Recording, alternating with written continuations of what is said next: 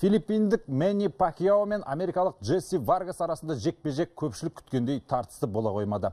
Лас-Вегастағы Томас Мак Центр аренасында өткен кездесу 12 раундқа дейін созылды. Нәтижесінде Пакьяо төрешілердің шешімімен жеңіске жетті. Айта кетейік, екінші раундта филиппиндік боксшы Варгасты нокдаунға жіберген. Осылайша Мэнни Пакьяо жартылай орта салмақтағы WBO титулын иеленді.